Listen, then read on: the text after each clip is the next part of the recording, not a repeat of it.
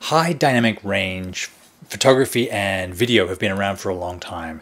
It's a great way to capture a scene where the darkest dark and the brightest bright are more than the latitude of the camera can handle. In a natural scene like a sunset or a um, you know, anytime we have uh, very very bright light and very very dark shadows, there's going to be 30, 40, 50 stops between the two um, areas. HDR works by taking two separate exposures, one that properly exposes the highs, one that properly exposes the darks, and then using software in post-production to balance those two things together. I had seen some stuff done in photography that I wanted to try and bring into the video field. This method doesn't necessarily involve changing the exposure of your camera, but you wait for the exposure of the scene to change. In this case, a sunset, you might shoot 10 seconds um, as the sun's setting, 10 seconds just after the sun has set, and then you might wait 30 minutes until all the lights have come on and shoot another 10 seconds. Take those three clips into post production and combine them into a scene that never occurred at once, but is the combination of the experience of watching a sunset. These HDR images are larger than life, they're hyper real. I really love the effect they give of sort of a dreamlike, idealistic place that never really occurred, but one that we recognize in our memories. So today we're going to look at some of these images, how I shot them, how I combine them in post, and how you can get images like this uh, working with your camera. Now, it is super critical with this technique that the positioning of your camera doesn't change from shot to shot. If it does, they won't line up in post-production and you won't have uh, an image to look at. Of course, this creates a problem because you don't necessarily want to hike into uh, the hills or um, into remote locations with a really heavy tripod. So uh, the solution is this guy. Um, this is a Benro HH100AV hi-hat. It's a it's a 100 millimeter ball head mount, um, but the whole thing weighs just a couple of pounds. Um, it has adjustable feet, can actually extend the legs out somewhat, and it gives you a stable, light um, shooting platform where you can get the most out of whatever you mount on it. I mean, I mounted three cameras, including the C200 on this, uh, and it was just on a pile of rocks. So it's really, really stable and doesn't take up much room in your backpack uh, when you're hiking out to these remote places to get these shots. We are here in the foothills of Burbank, and we're going to do a little bit of uh, nature um, filmmaking. We have the C200, which is going to be our main camera, Canon 5D Mark III, um, we're going to shoot on the 24 to 70. Have the Benro hi-hat and the 100 millimeter ball head monitor to monitor, to monitor all this. All this in this bag uh, weighs about 22 pounds, so it's it's not going to be easy, but it's not going to be more than I can handle.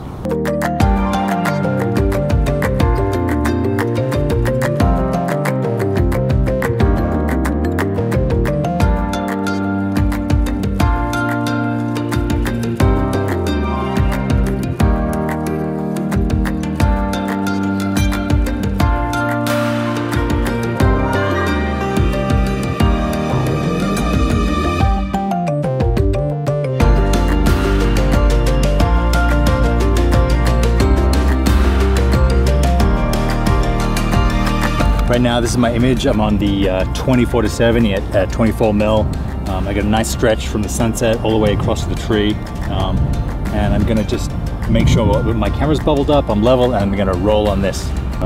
What we'll do is we'll get 20 seconds at different exposures at different times from, from now as the sun goes down into um, twilight and then into darkness as the lights come up and we'll take them into um, Resolve, grade them, and then composite them to give us one image that never actually existed that will be sort of similar to you know the memory of someone who watched this whole thing take place.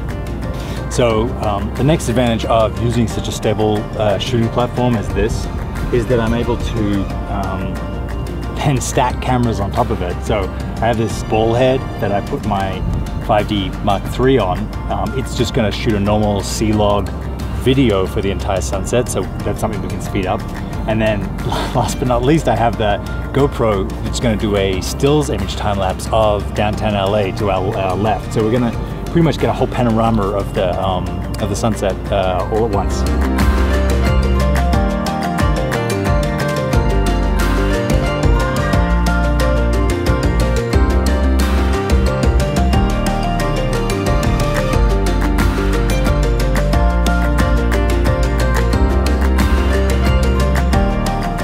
We're sort of in golden hour. Um, the sun has just gone over the horizon. There's a beautiful warm glow on everything. In about 10 minutes, we're going to get into blue hour where there's no real directional light, but everything is illuminated. This very cool blue tone. After that, we're going to get into twilight, uh, where the sky is almost universally um, dark blue, uh, and you're going to have all the street lights and car lights and um, house lights come on. So what I want to do is combine those different um, moments into one picture. So we're going to stick around for another maybe 30 minutes and then uh, slowly walk down the hill with all our gear.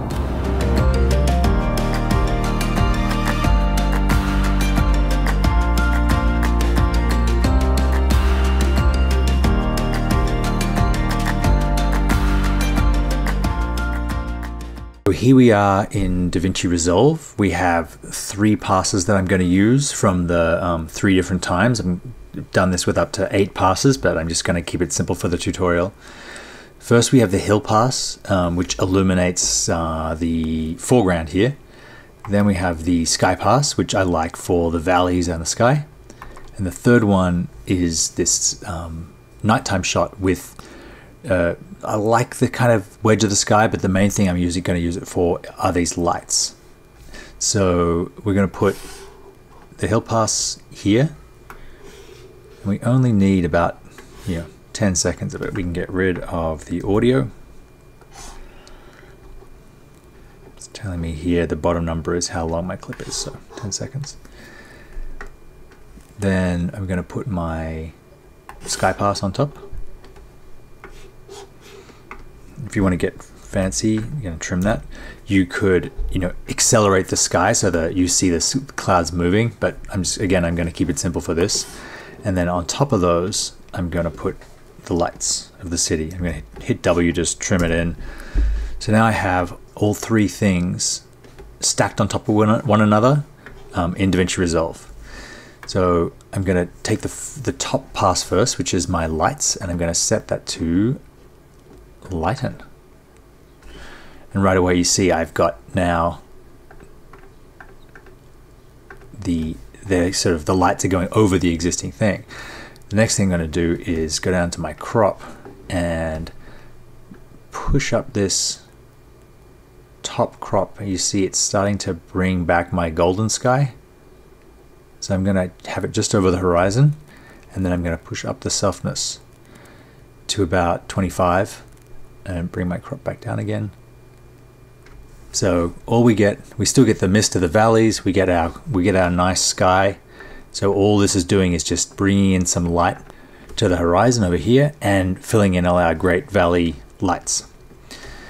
Next one is a little trickier because if I click this, I want to get detail back into this foreground here. And if it was um, if it was just a simple straight line, what I could do is just slide up the bottom here, increase my softness, and then I'd have this and the valley. But because this is an angle, I need to get a little, a little trickier. Whoops. I'm going to go over to my color grading tab and turn on my timeline so that I can see which of these ones I'm grading. I'm going to go to the middle one I'm going to go to the polygon um, masking window and I'm going to hit the polygon. Then place it in this bottom corner, drag an, one extra node, two extra nodes, get my final node all the way down here.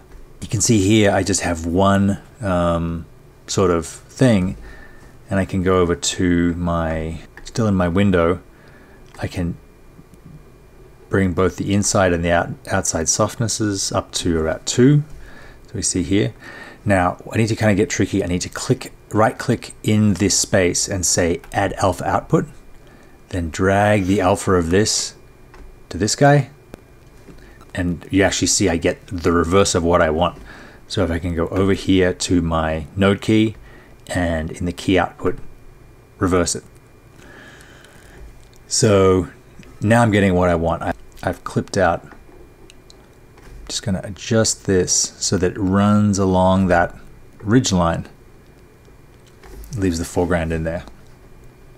So I can go back to my um, editing tab, tab now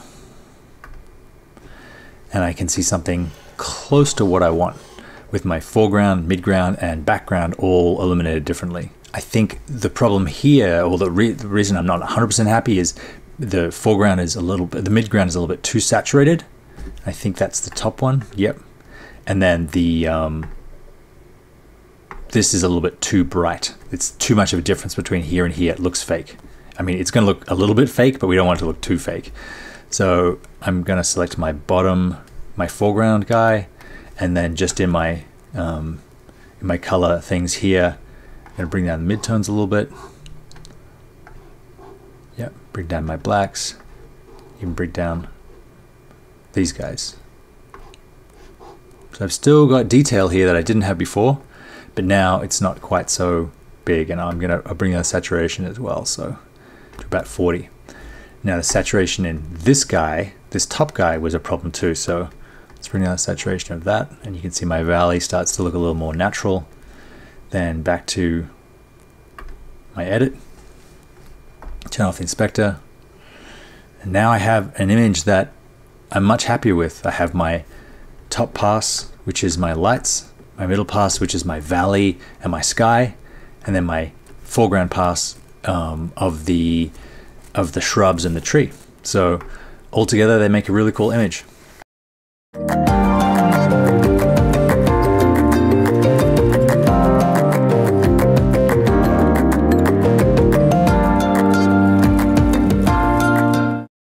That's my uh, high dynamic range combined exposure technique. Um, please leave your questions in the comments. I would love to help anyone else out and uh, I would love to see other people using this and see what um, you guys come up with. I use DaVinci Resolve because it's free. Uh, you can also do this with Premiere. You can do much more sophisticated versions in things like After Effects or even in the Fusion program that's uh, built within the new Resolve 15. But um, starting out, I would say just get three exposures. Get the foreground, get the sky, and then wait and get the lights and add the lights as a luminance or an overlay layer uh, on top of the other two. Thanks very much for watching. Thanks to Ben Benro for the hi-hat and sponsoring this episode. Uh, leave your questions in the comments and I will see you next time.